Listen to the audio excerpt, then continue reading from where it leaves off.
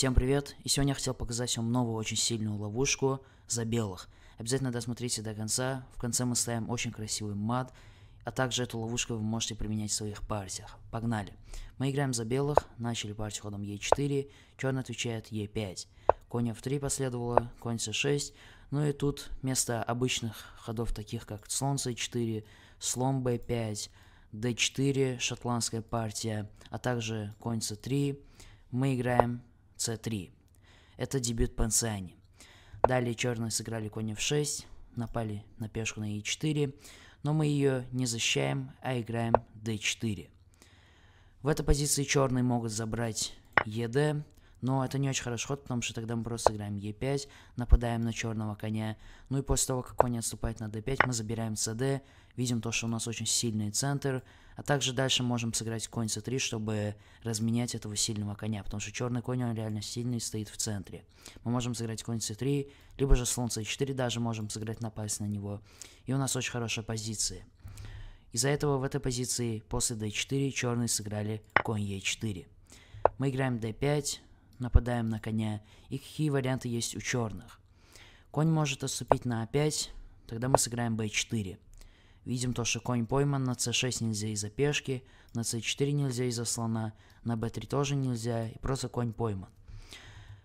Также есть ход конь b8, но он тоже плохой, просто конь теряет темп, просто возвращается назад. Из-за этого в этой позиции черный играет конь e7. Хотя дальше сыграть конь g6, чтобы защитить пешку на e5 и одновременно вывести своего слона на c5. Мы играем в этой позиции конь e5, забираем пешку, ну и черных несколько ходов. Допустим, один из них это как d6, чтобы прогнать просто нашего коня. Тогда мы видим то, что эта диагональ освободилась, и мы играем слон b5. Ставим на эту диагональ слона, делаем шах. С виду кажется то, что это просто шах, от него можно скрыться, но на самом деле это не так. Королю идти некуда, ферзем защищаться тоже плохо, не хочется отдавать ферзя. Слоном защищаться тоже плохо, потому что тогда мы просто заберем слон до 7 шах, и черный обязан отдавать своего ферзя. Какие еще есть варианты? Есть ход c6. Тогда мы просто играем dc, забираем. Ну и после конь c6 мы забираем конь c6 и делаем просто двойной удар. Также есть ход конь c6. Есть bc ход. Тогда мы забираем конь c6. Ну и после конь c6 мы забираем слон c6. Опять же вилка. И есть ход DE. Но он тоже плохой, тогда мы просто играем c7, делаем скрытый шаг. Приходится защищаться. Защ... Если защищаться ферзь здесь плохо, потому что слон d7. А слоном, если защититься, то просто забираем и просто выигрываем ферзя. Из-за этого d6 в этой позиции играть не получается. То есть я показал, на d6 я все варианты показал, можете применять. А если же в этой позиции сыграть конь g6, такой вариант тоже есть, то мы просто играем слон d3. Нападаем на коня. Черные могут сыграть конь e5, но этот ход намного лучше, чем который я покажу позже. Итак, черные могут сыграть конь e5, тогда мы забираем слон e4. И хоть и материал одинаковый, но все равно тут у нас позиция лучше. Мы можем сыграть f4, просто прогнать этого коня. А также у нас очень хороший центр. Дальше мы можем сделать рокировку, ладью на e1 поставить напротив короля соперника. И просто вводить фигуры, и у нас будет очень хорошая позиция. Но в этой позиции черные могут сделать такой ход, как конь f2.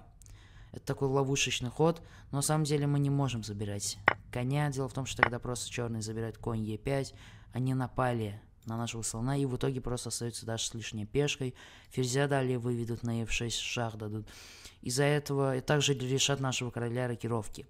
Из-за этого в этой позиции мы не забираем коня, а делаем такой сильный ход, как слон g6. Какие варианты есть у черных? Опять же, на конь h1 мы играем слон f7 шах. После король e7 мы играем слон g5, делаем шах. И вот я даже включу компьютер, видим то, что просто Stockfish показывает, как можно. Король d6, конь c4, единственный ход король c5, b4 шах, король b5, конь a3 шах. И на король a6 играем просто b5, шах и мат. Из-за этого в этой позиции после слон g6 на конь h1 я показал. На FG мы просто играем король F2, ну и у нас просто выигранная позиция. Мы остаемся с лишним материалом.